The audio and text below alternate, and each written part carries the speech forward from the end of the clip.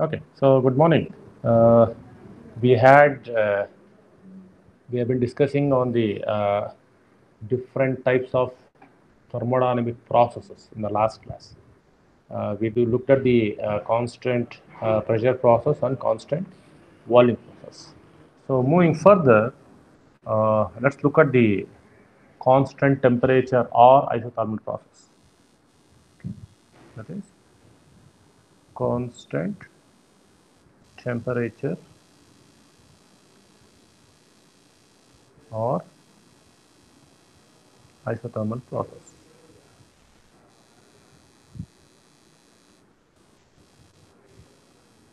Now, what is it actually? So if I try to draw the uh, PV diagram for it, this is also called as a quasi-static process where the temperature is almost constant as it moves from the initial point to the final point. So that's it. So PV. Now I have a point 1 and I have a point 2. So the process is almost, it is hyperbolic in nature. So it is a simple a curve. Okay, so I'm moving from point 1 to 2. So what are the things that are changing here? So this is here I have P1. So here it is P2. So similarly, this is V1, this is your V2. Both my pressure as well as the volume is going to change. So that's why, so this process is also called as PV is equal to constant. PV is equal to MRT.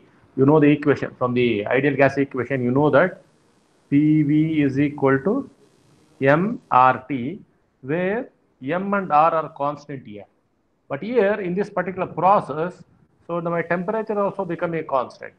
So the whole thing, the whole thing becomes a constant. That means your pressure volume is equal to some constant because the temperature is constant. So that's why if I get uh, considered any process at any point, a characteristic point actually, so this will be P1 V1 is equal to P2 V2, which will be PV is equal to some constant. Okay, let me call this as some equation number one. So for example, if I uh, take it as some P, so in that case, what will happen to your P?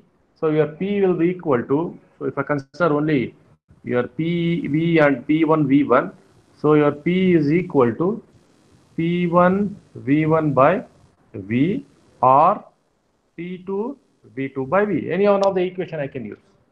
Any one of the equation I can use in my work done expression. Now look at this, what's happening. See, uh, we have studied that what is work done? Work done is the area under this curve, that is integral of PdV. Already we know that the integral of, see, your work done expression is given by that is delta W is equal to integral of PdV between the points 1 to 2, 1 to 2. Okay.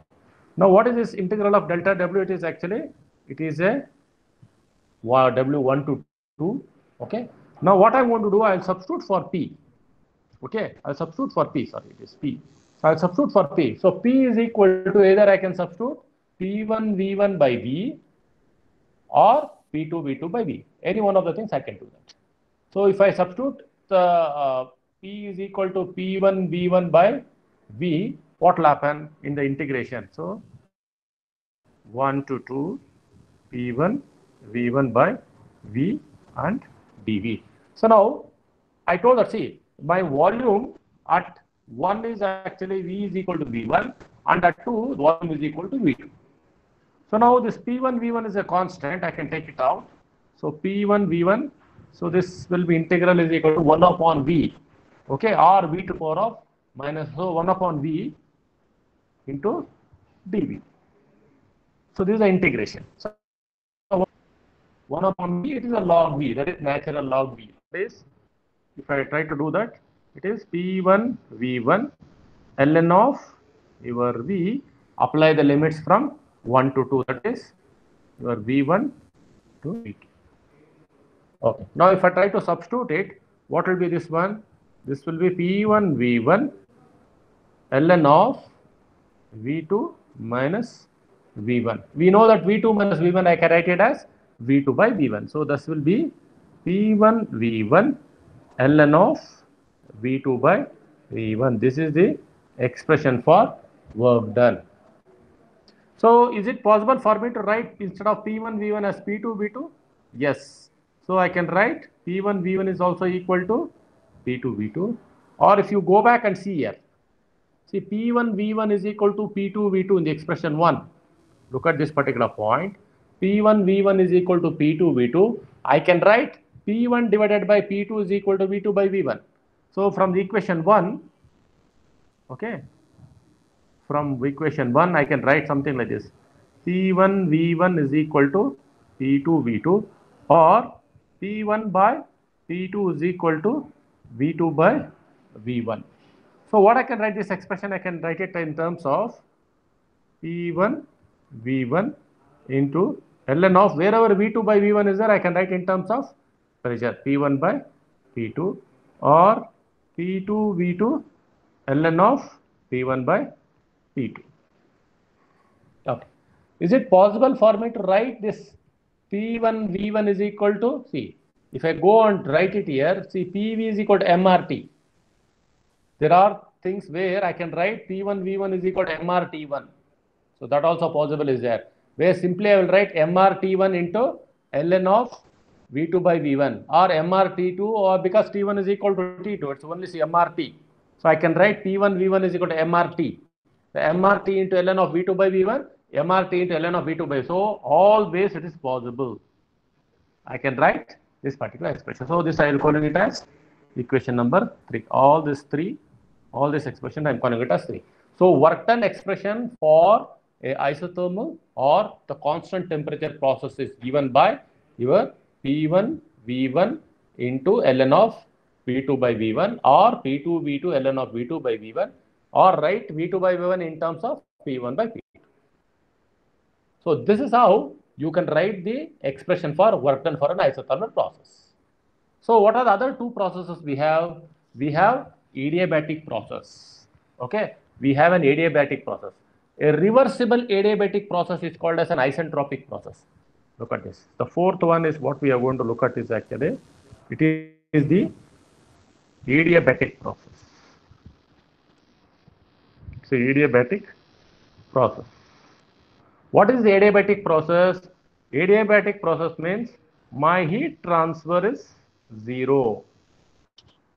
Okay. Now, here I have a thing. If the process is reversible, if the process is reversible and adiabatic in nature, we call that as isentropic process.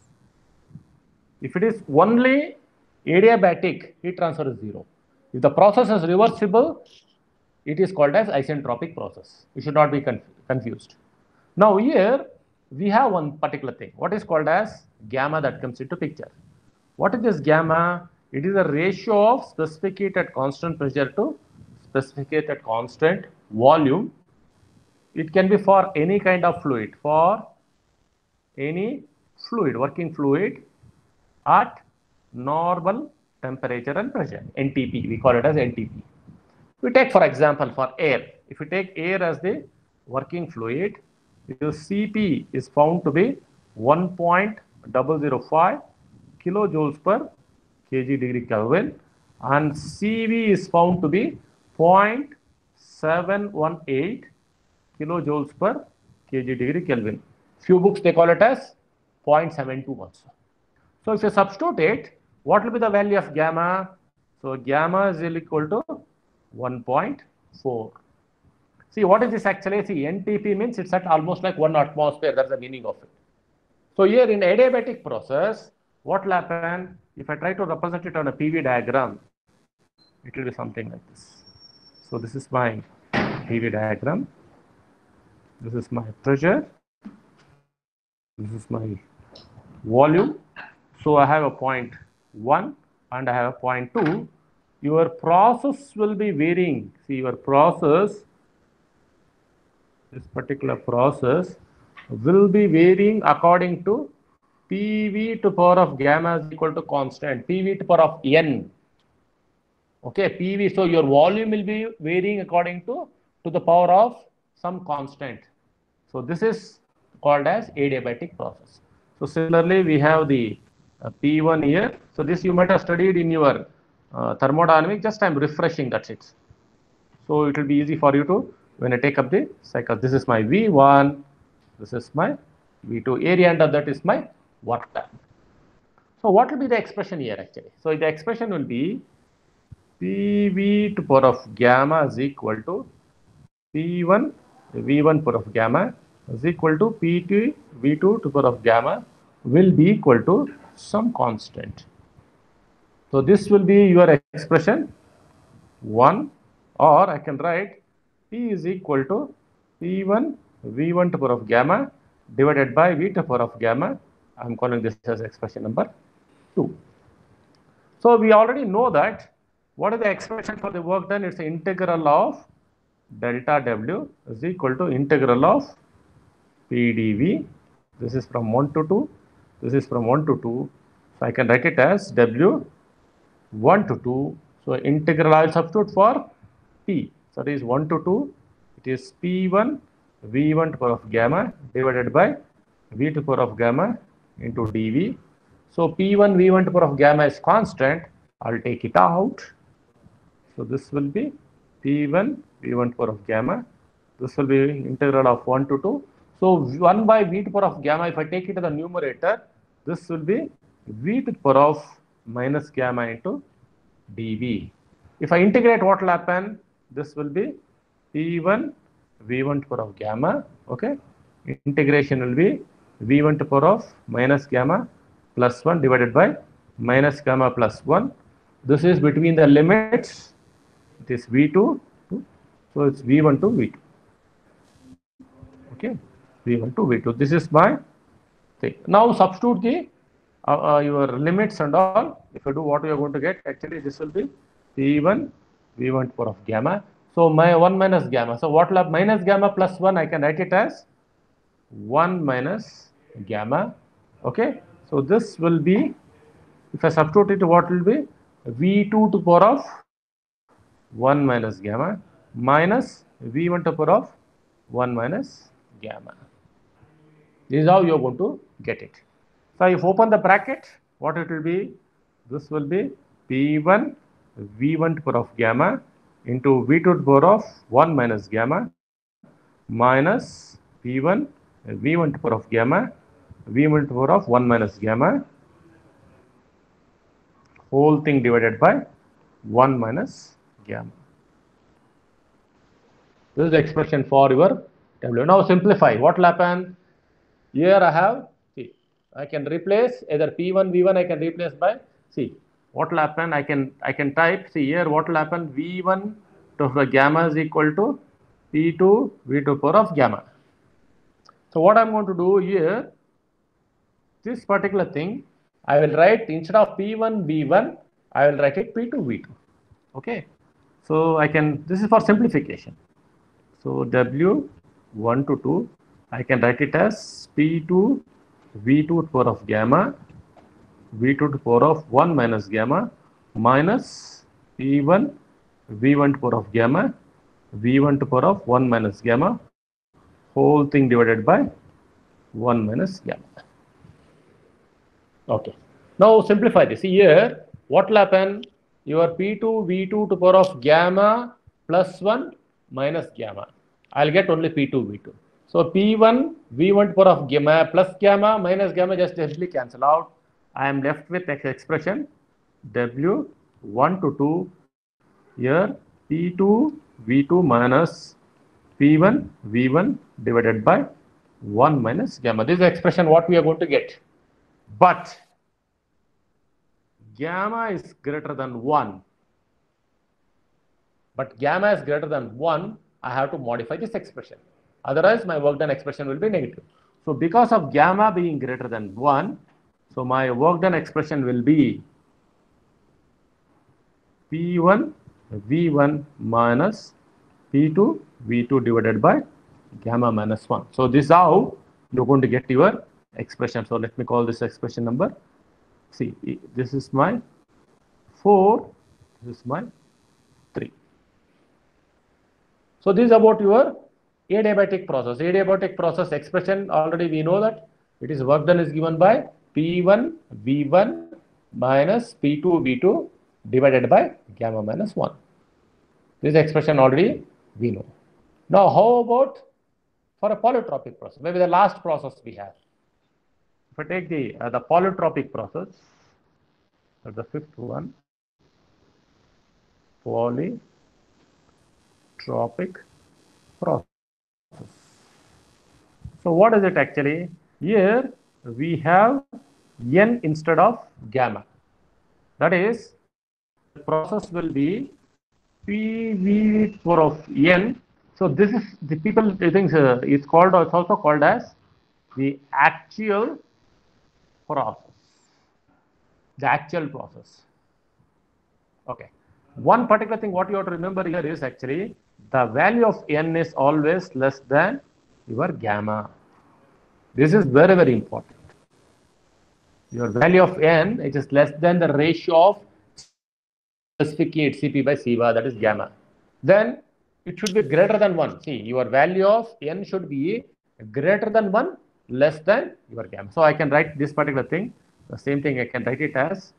So the value of n is in between 1 and gamma. Then what will be the number? Say for example, for air, you take the value of gamma to be 1.4. If it is less than that, it can be 1.3, 1.4, whatever it may be. Now, if I go and do the derivation with PV to power of say n is equal to this thing. So here, what we are going to do actually here it will be PV to power of n is equal to P1 V1 to power of n. It is P2 V2 to power of n is equal to constant. So what will be the value of P?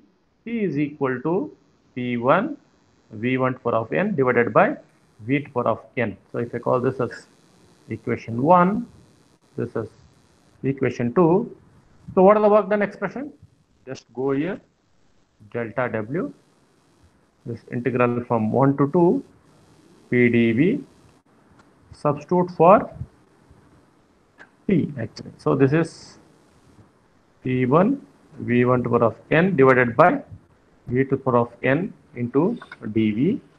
So if I go back and substitute, so P1 V1 to power of n, if I take it out, this is 1 to 2 V to power of minus n into the whatever I did for previous adiabatic for the same thing I have to repeat here.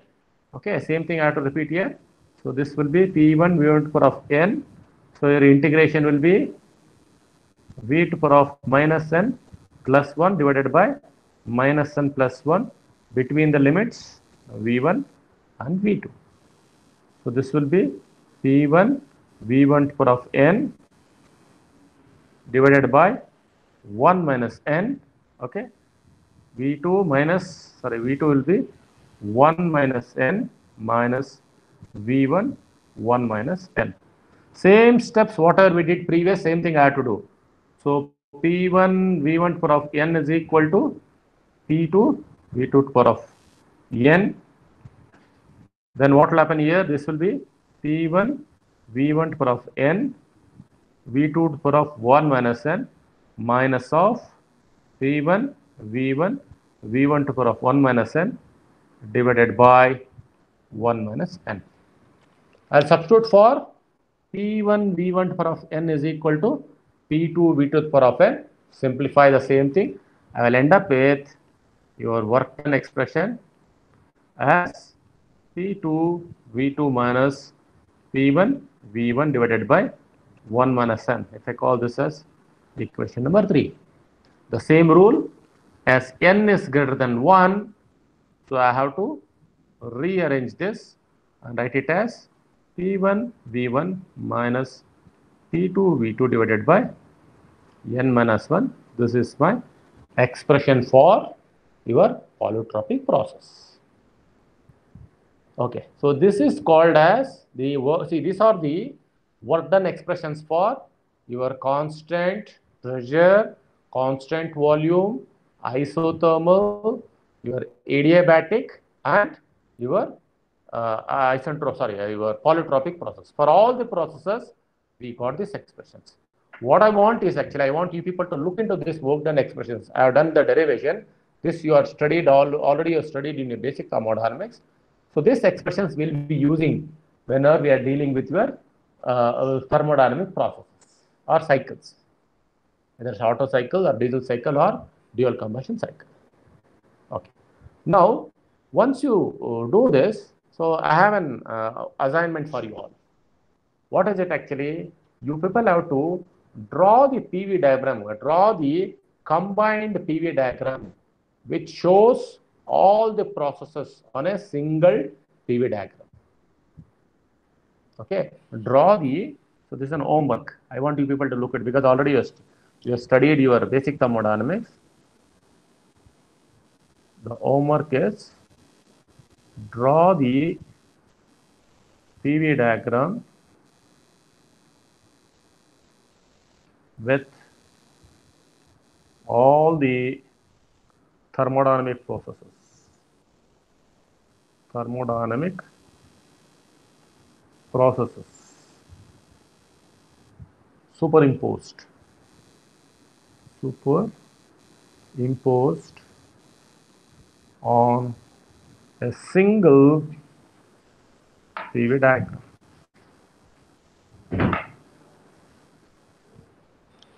Okay, on a single PV diagram.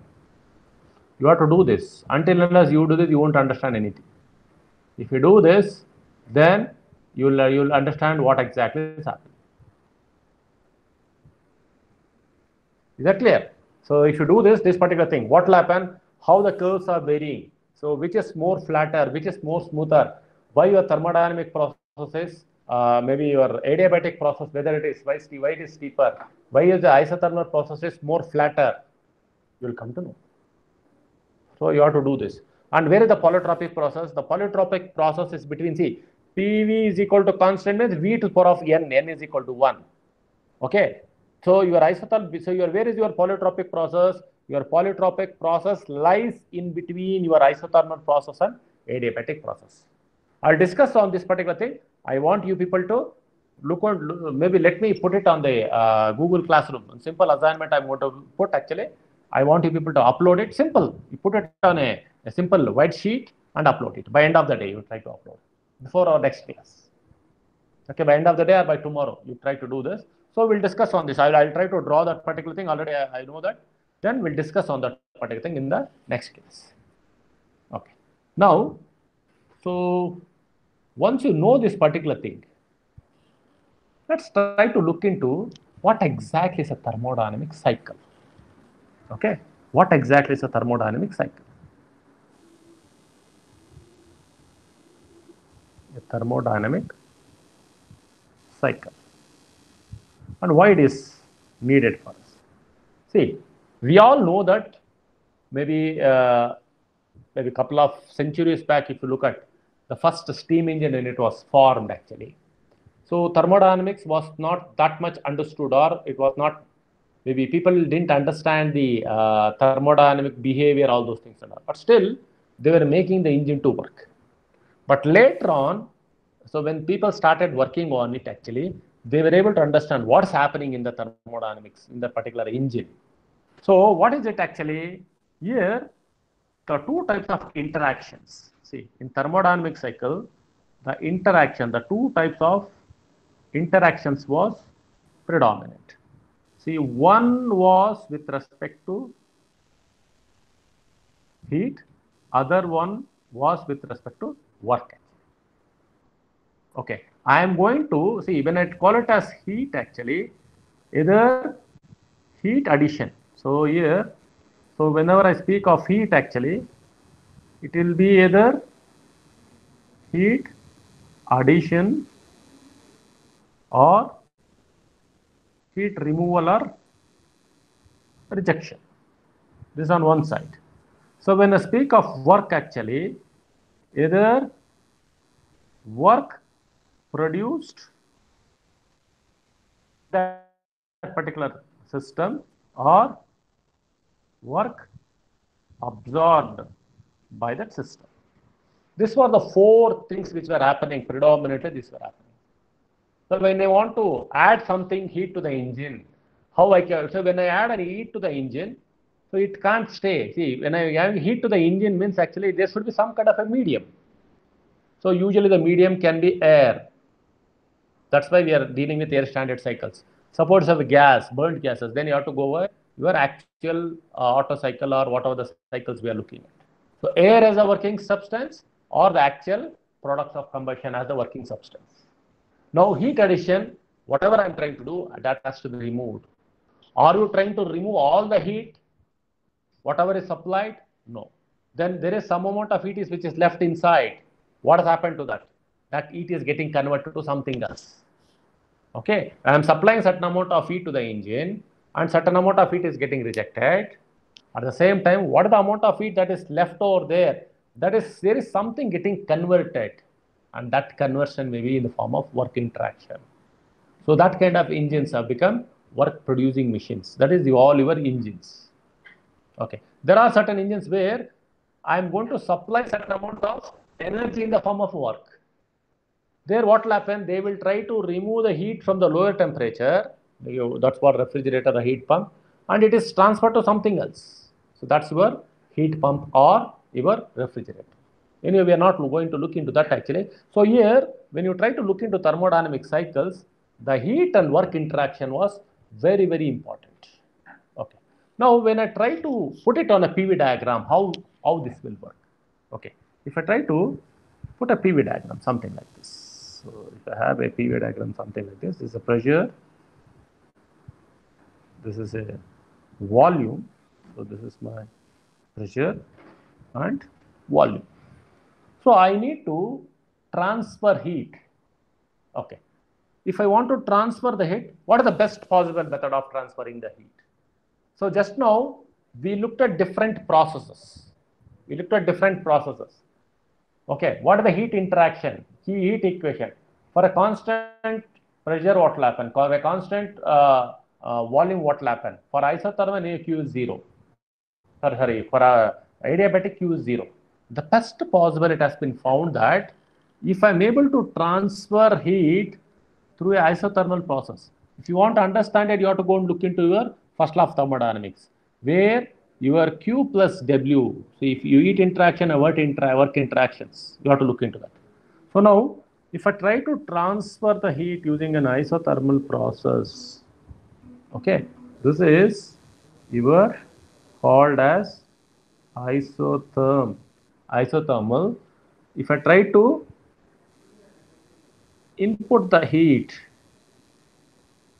heat interaction into the engine, now, when I meet interaction at that particular pressure and temperature, at the same time, I have to remove it somewhere else. So, if I am able to do this, both the actions, that is heat removal. This is also isotherm. If I am able to have this heat addition and heat rejection, at isothermal processes. That is the best possible way of heat interaction or adding the heat into the engine and removing the heat into the engine. So how the basis, basis if you want to understand, maybe I don't have any time to go into that particular thing, just go back and look into your Carnot engine, how the Carnot engine was built. Where if you if you look at large isothermal, that is large reservoir is brought in contact with a particular surface so that, that lot of theory is there. You can read that. So your thermodynamics engine, the cycle is built on this concept. I need to supply the engine with some temperature and it has to be rejected at some temperature. This was the concept. Okay. If I go with an adiabatic, having a complete insulation, you can't transfer heat at all. So it is ruled out. In your constant pressure and constant volume, actually, there it has been found that you can't transfer the heat that much. So the best possible was isothermal was the which was found. Okay, best possible. I'm looking at best possible. But is it practical? That was a question mark. Is it practical to transfer the heat at this particular thing? Then a lot of questions came. Now, but when I'm trying to have this heat interaction and all, I need to close the cycle, no? So somewhere I have to close it. Okay. If I try to have, say, for example, uh, if I try to add heat some point, let me call this as some point 1 to some point 2, and this is some point 3, and this is some point 4. Let me call it as some 4 points. Suppose if I try to join this particular thing using constant volume process, okay, what happened between 2 and 3? If I try to go with a constant volume, it's not possible. But still, if I execute a constant volume, so this is how the constant volume will look like. Okay, the constant volume. So this is my heat addition. This is my some kind of work interaction. This is my heat removal. This is my some compression or whatever. So when I try to do a constant volume, is it possible? No, there are some restrictions. It's not possible because there work interaction, I'm not looking at the heat. So why, what are the best possible thing they looked at actually? They looked at, is it possible for me to go with an iso isentropic, that is, if I try to make it little flat, something like this, something like this. It is more steeper. If I'm able to do this, so why I'm not trying in the continuous line, I have to have a reason for that. So if I go with S is equal to constant, what is S is equal to constant? It is isentropic. It is a reversible adiabatic. If I do it S is equal to constant, then I can make it dark. If I have a reversible process, then I can make this dark. This arrow mark should have been in the opposite direction. Okay, I can make this dark. If it is only Q, see, if I make it only adiabatic, then heat is equal to the Q is equal to 0. It is not, it's no more a reversible. I can have such processes. So, isothermal process is the most ideal thing. So, here what's happening here? This is work interaction in the form of work. See, this is in the form of, so this is work, work output, this is work input. Work input means it is the compression. Work input means the compression.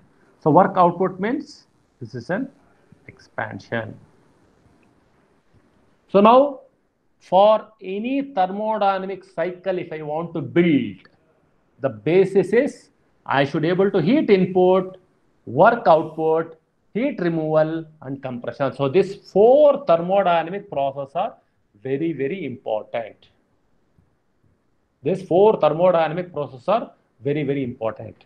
Then only I'll be able to build any kind of thermodynamic cycle. So this was the basis. Okay.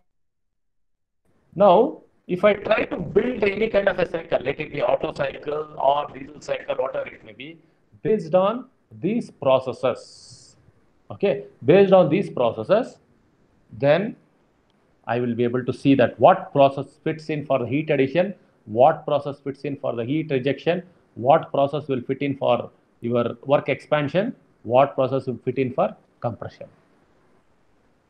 If you look into that actually, the compression expansion, the reversible adiabatic was the best for irrespective of any kind of thermodynamic process you consider. That is expansion and compression. Your reversible adiabatic or isentropic process is found to be best whether you take Otto cycle, whether you take diesel cycle, whether you take Carnot, whatever the cycle you take, this has been found to be the best one. But what about for heat addition and heat rejection? The best is isothermal. That is your Carnot cycle. The problem is bringing in the large thermal reservoirs, allowing it to heat transfer. It's, it becomes very, very slow. But I don't want my engine to be working that slow. But I want to build an engine which is fast enough. So if I have, if I'm able to replace this isothermal heat addition and isothermal heat rejection by something else, if I'm able to build an engine with constant volume heat addition and constant volume heat rejection, I will end up with an Otto cycle. Okay. So now, if I go for an Otto cycle, if I go for an Otto cycle, So heat addition QH, which actually it is the constant volume process. What is the heat rejection? Q removal or QL. Okay, this is also the constant volume process. What about for the work interaction? Work of expansion and work of compression is isentropic process. It is isentropic process. I am done with my Otto cycle. This is how your Otto cycle was built. Now, if I go to the diesel cycle, so diesel cycle is built on how we are going to add your heat. Okay, Constant if I am able to add the heat at constant pressure, what is constant pressure? So, if I go to the diesel cycle, if I go to the diesel cycle, your heat addition is at constant pressure. What about your heat rejection? It is at constant volume because your volume remains constant. What about your expansion and compression? It is once again isentropic process. What about your dual combustion cycle? If I go to the dual combustion cycle, dual cycle, your heat addition is a combination of constant pressure and constant volume. Your heat rejection is it is constant volume and your expansion and your compression it is once again isentropic.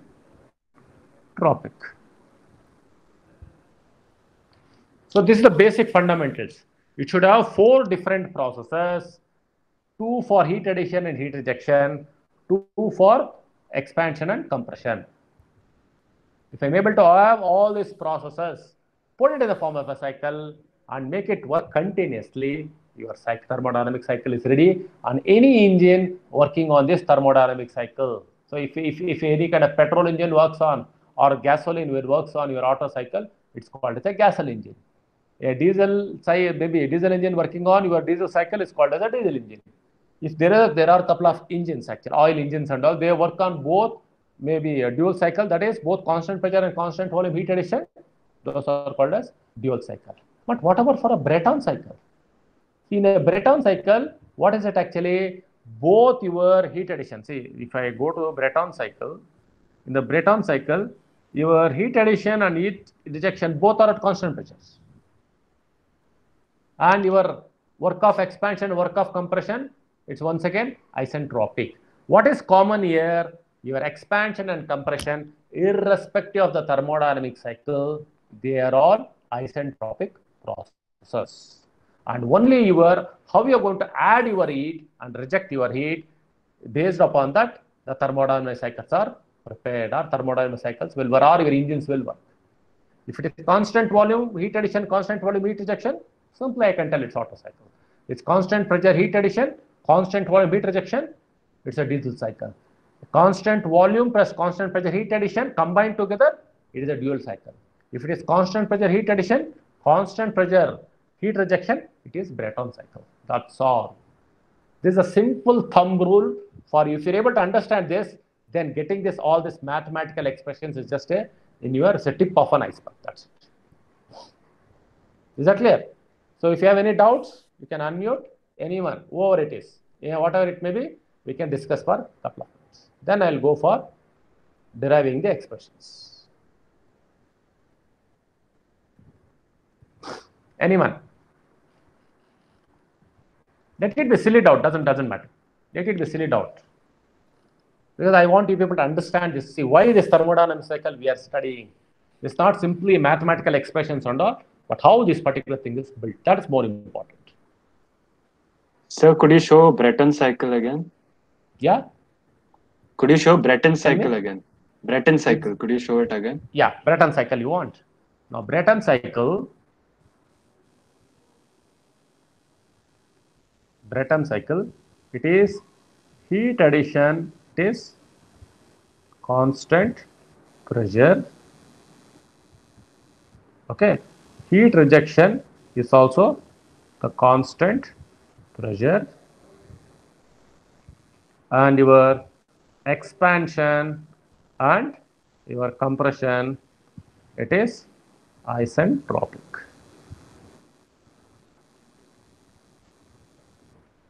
So these are the four cycles what is there in a syllabus. I am trying to show all the four in this particular format. What is common? Isentropic process expansion and compression is common here. Then I am just changing the heat addition, heat rejection for each condition.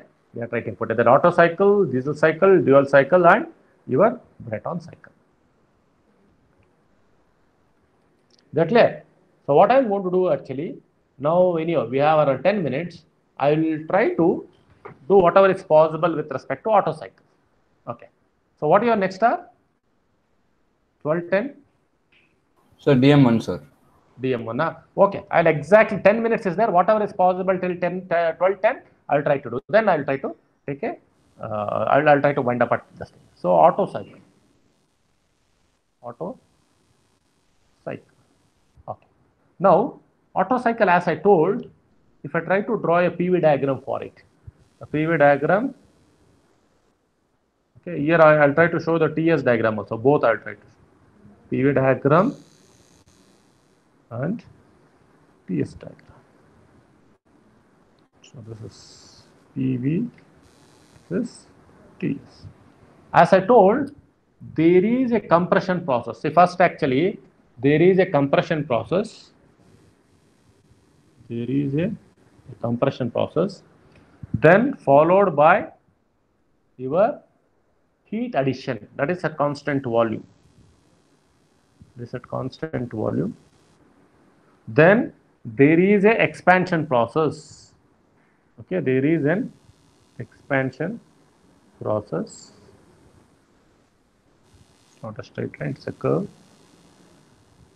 An expansion process followed by a heat rejection process. So, if you try to look at the process, see what is it actually to be very precise, to be very precise, see the air is sucked here, see this particular thing, see there is a, a process here, which I am not showing, you know, this thing. The air is sucked, okay, suction process. So air is sucked here, which I am not showing in this particular thing. The air is sucked, so if I call this as zero, but don't do, we are not showing that actually. So air is sucked from zero to one, then at one it is compressed from one to two, okay, it's compressed from one to two. So this is a compression process. It is S is equal to constant, it isentropic process. Okay, this is S is equal to constant or isentropic process. Then here it is heat addition that is Q into H. Here volume is equal to constant between 2 to 3. Then 3 to 4 actually it is expansion process. So here also your isentropic the S is equal to constant. Then here it is heat rejection your volume is equal to constant. This is on your PV diagram. How about on HS diagram, sorry, uh, TS diagram? A TS diagram, when you look at it actually, your volume, see 1 to 2, isentropic, entropy is constant, okay? 1 to 2 is isentropic constant. So, it is actually, it is from 1 to 2. So, it is a simple straight line. It's a simple straight line from 1 to 2. Then 2 to 3 is actually, it is a volume process. So it's a constant volume process. So I'll be going like this.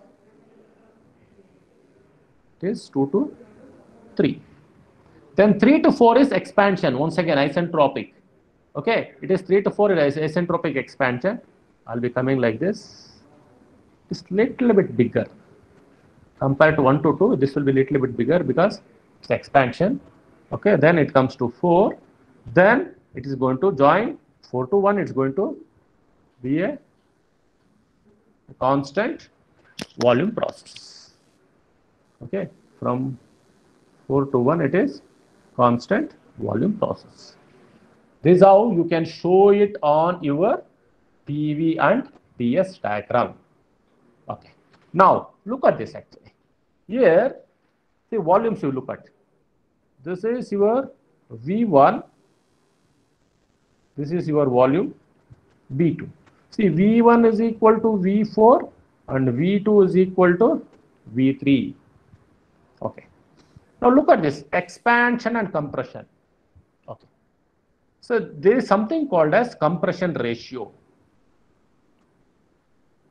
We call it as compression ratio. What is it? It is the ratio of maximum volume to minimum volume. That is compression ratio. We call it as RC. Okay. Here V1, what is it actually? V1 by V2. Okay. RC, I am calling it as V1 by V2, which is also equal to V4 by V3. See over here in this particular uh, Otto cycle, your expansion as well as compression both are same. Your expansion and compression both are same.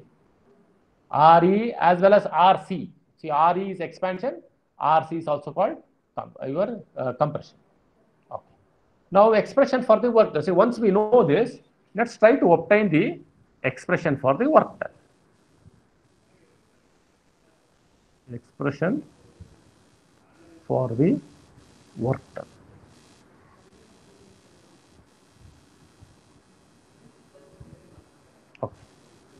What type of process is for the heat addition? See, heat addition is a constant volume process. Your heat addition is equal to mCV into your heat addition. That is, you look at this mCV into T3 minus T2. I'm looking at only your constant volume process between this 3 and 2. So mCV into T3 minus T2. So T3 is at higher temperature, T2 is at the lower temperature. What is heat rejection?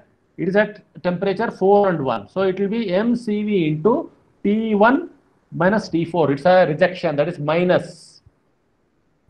Okay, minus if you put it, it will be T4 minus T1. If it is in the plus direction, it will be T1 minus T4. Okay. Now, what is this particular QH is actually it is mCV into T3 minus T2. Okay. Then heat rejection QL is equal to mCV into T4 minus T1. What is work done? As I told,